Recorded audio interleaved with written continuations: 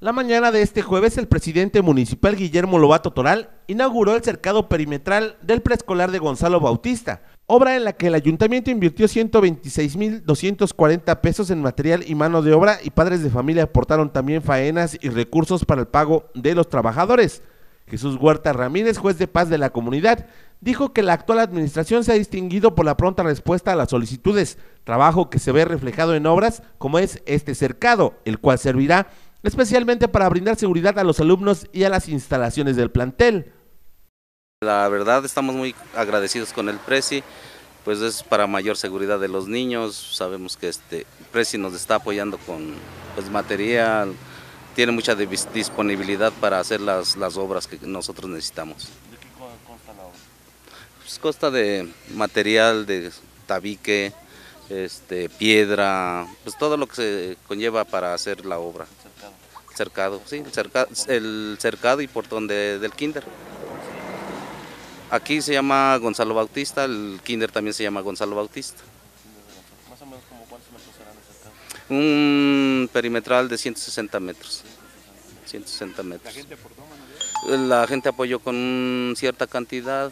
de este, cooperación para mano de obra y el Prezi también, aparte de que nos dio material, nos apoyó también con cierta cantidad igual para mano de obra. Y estamos muy agradecidos, la verdad estamos muy agradecidos con él. Gracias, señor presidente, y a todos sus regidores, sus compañeros, por verse preocupados de este kinder.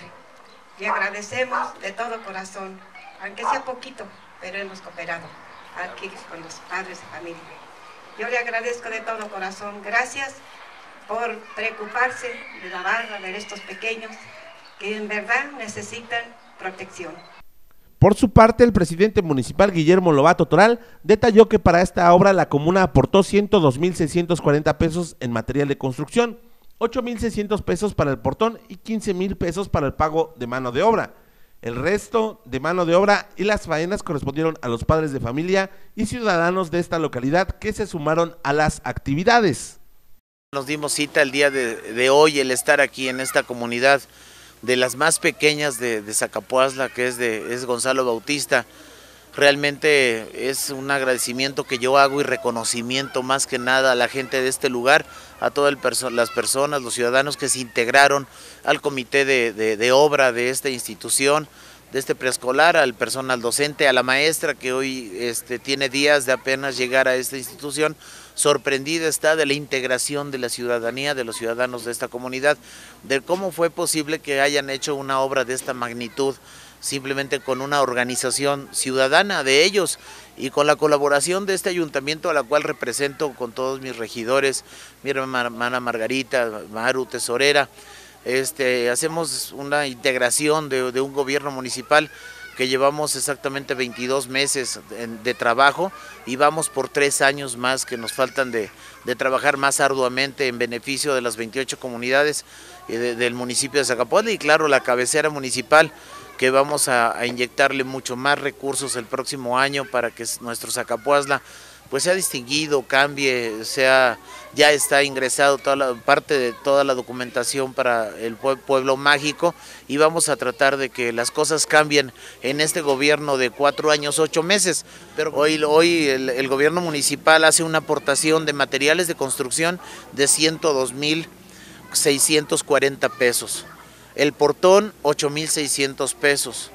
y un apoyo de mano de obra que se les dio por parte del ayuntamiento a los, a los padres de familia fue de 15 mil pesos.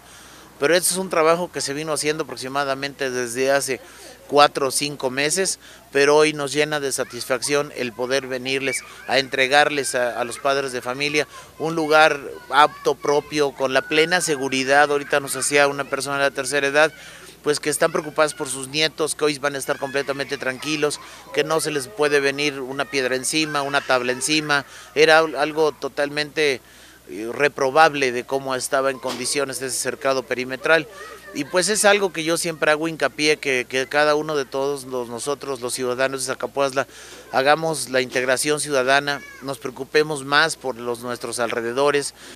Lobato Toral también se comprometió a aportar material para la construcción del paso peatonal en el acceso principal para mayor seguridad de los alumnos, padres de familia y personal docente. Asimismo, dijo que para el próximo año se construirá la techumbre de esta institución educativa. Que como un servidor y mi equipo de colaboradores, pues somos pasajeros y la satisfacción que tenemos nosotros y se nos queda es el entregar este tipo de obras, haciéndoles el compromiso también que en próximos días, dentro de una semana, se va a hacer este, la techumbre de dos plazas cívicas de los preescolares de la Libertad, del Socorro, el del Carmen, y posteriormente, después de que la persona que está haciendo las techumbres en los preescolares, dentro de un compromiso que yo hice, el 14 de febrero del 2014 que se quedaran techadas todas las plazas cívicas de todos los preescolares de todo el municipio de Zacapuazla, va a dejar techado este para que los jóvenes y niños y padres de familia y demás en sus eventos o por los niños que salen a sus recreos tengan un, lugar apto y propio para que no se asolien, se, protejan de la lluvia, de las inclemencias del tiempo. Ah, claro que sí, les vamos a dar también material, ya que acudan hoy mismo al ayuntamiento para que les demos un vale de material de aproximadamente dos toneladas de cemento, la grava, la arena, para que hagan un andador a mis espaldas, en donde es el, va a ser el acceso también principal donde se colocó el zaguán, pero pues todo es de tierra, entonces que ellos coloquen y vean en dónde en su momento quieran hacer este, el andador, que va a ser algo básico y lo decía muy puntualmente la maestra, porque hay necesidades básicas que debemos nosotros de, integrarnos, de, estar al pendiente y se lo he pedido a mi hermana Margarita al frente del, DIF municipal, que es la primera vez en la historia de Zacapuazla que se ha trabajado como DIF al 100%. El alcalde estuvo acompañado de la presidenta del DIF, Margarita Lobato Toral, y regidores y aseguró que este fin de año continuarán trabajando para culminar las obras del ejercicio 2015. Para Entérate Noticias, José Rosas.